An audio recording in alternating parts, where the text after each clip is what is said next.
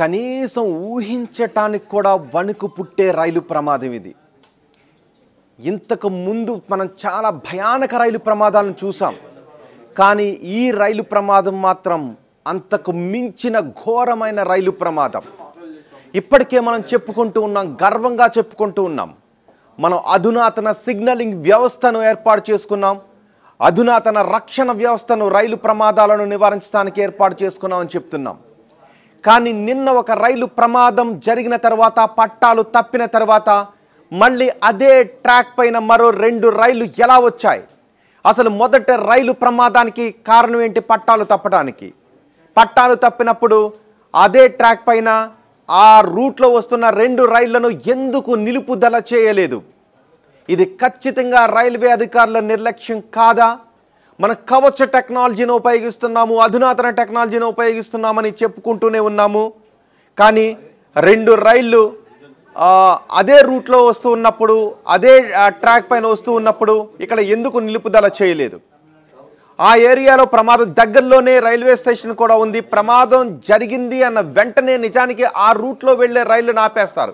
ఎందుకంటే పక్క పక్కనే ట్రాక్స్ ఉంటాయి కాబట్టి అది వేరే ట్రాక్ మీద వస్తున్నప్పటికీ ఆ రూట్లో వెళ్ళే ట్రైన్లు ఆపేస్తారు. మరి అక్కడ ఎందుకు ఆపలేదు?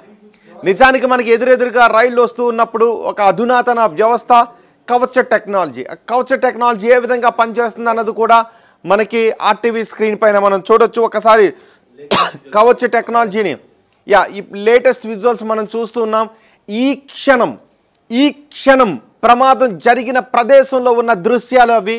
ఇంకా అక్కడ సహాయక చర్యలు కొనసాగుతూనే ఉన్నాయి. సహాయక చర్యలు రాత్రంతా కొనసాగాయి.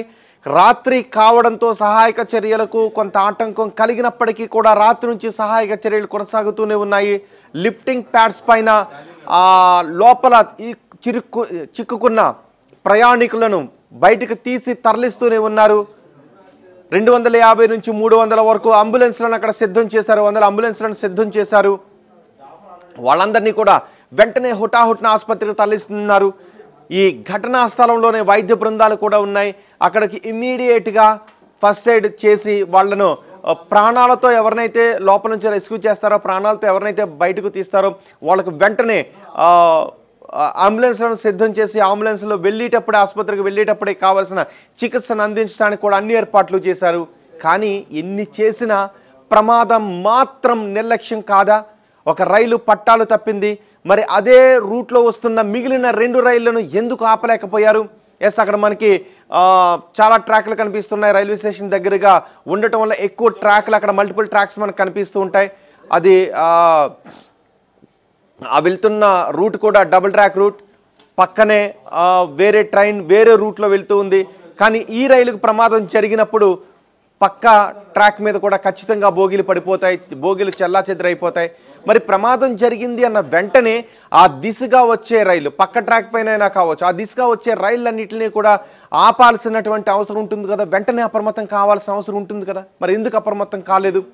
ఒక రైలు ప్రమాదమే దురదృష్టకరం అని అనుకుంటే మూడు రైలు ప్రమాదాలు చోటు చేసుకున్నాయి. ఒక ప్రమాదానికి గురైన రైళ్ళను మరో రెండు రైళ్ళు ఢీకొట్టడం అంటే అది ఏ విధమైనటువంటి ప్రమాదం? ఎంత దారుణంగా ఉంటుందో మనం ఆ దృశ్యాలను చూస్తే అర్థం చేసుకోవచ్చు. కనీసం ఇది దారుణం అనే ఒక మాటతో చెప్పగలమా? ఈ ప్రమాదం ఇంత దారుణం అని? అంతకు అసలు మాటల్లో చెప్పటానికి వీలు లేని ఒక ఘోరమైన రైలు ప్రమాదం ఇది. ఇంతవరకు మనం ఎన్నో ఘోర రైలు ప్రమాదాలను చూసాం. కానీ ఇంత ఘోర రైలు ప్రమాదాన్ని మాత్రం ఇప్పటి వరకు చూడని ఘోర రైలు ప్రమాదం ఇది. కనీసం ఊహించటానికి కూడా అవకాశం లేని ఒక రైలు ప్రమాదం. శాలిమర్ నుంచి చెన్నై వెళ్తున్న కోరమండల్ రైల్ అంతకు ముందే పట్టాలు తప్పన యశ్వంత్పూర్ నుంచి హౌడా వెళ్తున్న రైలును ఢీకొట్టింది యశ్వంత్పూర్ నుంచి హౌడా హౌడా వెళ్తున్న రైలు ముందుగా పట్టాలు తప్పింది. ఆ పక్క ట్రాక్ పైనే వస్తున్న శాలిమర్ నుంచి చెన్నై వస్తున్న కోరమండల్ ఎక్స్ప్రెస్ ఆ పట్టాలు తప్పిన రైలును ఢీకొట్టింది. ఆ వెంటనే మరో గూడ్స్ రైలు అదే దిశగా వస్తూ ఉంది. ఈ రెండు రైళ్ళ భోగిలను ఆ గూడ్స్ రైలు చీల్చుకుంటూ వెళ్ళిపోయింది గుద్దుకుంటూ వెళ్ళిపోయింది. ఆ గూడ్స్ రైలు మీద కూడా ఈ రెండు బోగీలకు చెందిన రైలు బోగీలు ఎక్కి పడిపోయాయి. ఒక ప్రమాదం జరిగిన వెంటనే ఆ లోపల ఉన్న వాళ్ళు చాలామంది అప్పటికే స్పాట్లో చనిపోయిన వాళ్ళు ఉన్నారు.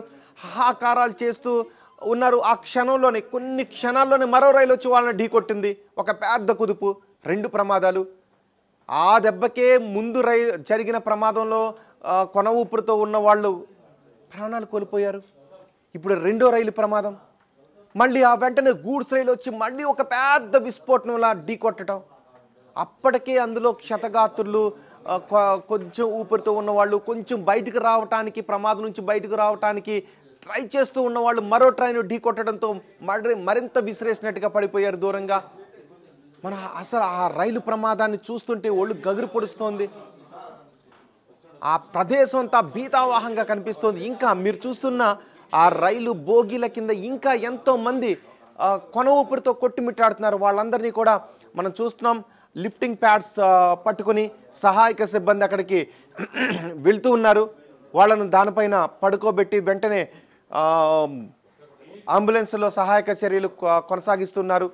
రాత్రంతా వాళ్ళు అక్కడే సహాయక చర్యల్లోనే నిమగ్నమై ఉన్నారు.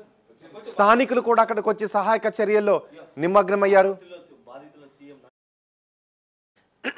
ఈ ప్రమాదంపై కేంద్ర రైల్వే శాఖ మంత్రి స్పందించారు. ప్రధాని మోదీ కూడా స్పందించారు. తమిళనాడు ముఖ్యమంత్రి స్టాలిన్ కూడా రెస్క్యూకు సంబ రెస్క్యూ ఆపరేషన్స్కు సంబంధించిన వివరాలను ఎప్పటికప్పుడు తెలుసుకుంటున్నారు. ఒడిశా ముఖ్యమంత్రి నవీన్ పట్నాయక్ ఆసుపత్రి దగ్గరికి వెళ్ళి క్షతగాత్రులను పరామర్శిస్తున్న దృశ్యాలు కూడా మనం చూడొచ్చు. కానీ ప్రమాదం జరిగిన తర్వాత ఎన్ని పరామర్శలైనా చేయొచ్చు గాక ఎక్స్గ్రేషియాలు ఎన్నైనా ప్రకటించవచ్చు గాక కానీ ప్రమాదం మిగిల్చిన విషాదం మాత్రం వాళ్ళ జీవితాల్లోంచి ఎన్నిచ్చినా ఏం చేసినా కూడా దాన్ని మనం తుడిచివేయలేము చెరిపేయలేము. జీవితాంతం వాళ్ళ కుటుంబీకులకు అది తీరని లోటుగానే ఉంటుంది. అందుకే మనం ప్రమాదాలు జరగని వ్యవస్థలు నిర్మించుకుంటున్నామని మనం గొప్పగా చెప్పుకుంటూనే ఉన్నాం. కానీ అక్కడ ఊహించని ఊహించకూడని రైలు ప్రమాదం జరిగిపోయింది. లిఫ్టింగ్ ప్యాడ్స్ పైన స్ట్రెచర్స్ పైన అక్కడ నుంచి వాళ్ళను తరలిస్తున్న దృశ్యాలు చూస్తున్న. హృదయ విదారకంగా ఉన్నాయి. ఆ సహాయక చర్యల్లో పాల్గొన్న వారే క- కంటనీరు పెట్టే అంత హృదయం ద్రవించిపోతున్నంత అయినప్పటికీ కూడా వాళ్ళు విధి నిర్వహణలో చలించకుండా అక్కడ ఉన్న వాళ్ళను తీసుకువెళ్ళి రక్షిస్తున్నటువంటి దృశ్యాలు. గ్యాస్ కట్టలతో అక్కడ వాటిని కట్ చేసి బోగీలను ముక్కలు చేసి ఆ లోపలికి వెళ్ళి ఆ లోపల సీట్ల కింద ఇరుక్కుపోయిన వాళ్ళు ఆ రేకు రేకులతో తెగిపోయి గాయాలతో పడి ఉన్న వాళ్ళు వీళ్ళందరినీ కూడా చాలా జాగ్రత్తగా బయటకు తీసుకొస్తున్నారు. అతి కష్టం మీద వాళ్ళని తీసుకొచ్చి అక్కడ నుంచి ఆసుపత్రికి తరలిస్తున్నటువంటి దృశ్యాలు మనం చూస్తూ ఉన్నాం. ఎస్డీఆర్ఎఫ్ సిబ్బంది కూడా అక్కడికి చేరుకున్నారు. ఎన్డీఆర్ఎఫ్ సిబ్బంది ఎస్డీఆర్ఎఫ్ సిబ్బంది వీళ్ళంతా అక్కడికి చేరుకునే సహాయక చర్యలో పాల్గొన్నారు స్థానికులు కూడా సహాయక చర్యలో పాల్గొన్నారు కొంతమంది ఆ రైల్లో ప్రయాణిస్తూ ప్రాణాలతో బయటపడ్డవాడు చెప్తూ ఉన్నారు. అంతా క్షణాల్లో జరిగిపోయింది. ఏం జరుగుతుందో అర్థం కాలేదు. రైలు నుంచి బయటకు వచ్చి చూసేసరికి చుట్టూ ఎటు చూసినా బీతావాహ పరిస్థితులే ఉన్నాయి. మేము షాక్ అయిపోయాం. ఏం చేయాలో అర్థం కాలేదు. వాళ్ళ వాళ్ళు కూడా కొంతమంది లోపలుండిపోయారు. ఇలాంటి మాటలు అక్కడ వినిపిస్తూ ఉన్నాయి. ఎటు చూసినా హృదయ విదారకంగానే కనిపిస్తూ ఉన్నాయి. ఇంకా ఈ సహాయక చర్యలు కంప్లీట్ కావడానికి కొన్ని గంటల సమయం పడుతుంది. రైలును ఆపేయచ్చు కాక ప్రయాణం ఆగిపోతే ఏం కాదు. కానీ ప్రమాదం జరిగితేనే ప్రాణాలు పోతాయి. ప్రాణాలు పోతేనే వాళ్ళ జీవితాలు వాళ్ళని నమ్ముకునున్న జీవితాలు నాశనం అయిపోతాయి. అలాంటి ఘటన ఇక్కడ చోటు చేసుకుంది. ప్రమాదానికి కారణం ఏంటి అని విచారించవచ్చు తర్వాత ఒక నివేదిక ఇవ్వచ్చు తర్వాత ఏదో తేల్చొచ్చు మళ్ళీ ఇలాంటి ప్రమాదాలు జరగకుండా చూస్తామని చెప్పొచ్చు. కానీ అది కాదు ప్రమాదం జరిగినప్పుడు మాటలతో చెప్పలేని ఒక విషాదం అక్కడ కనిపిస్తుంది.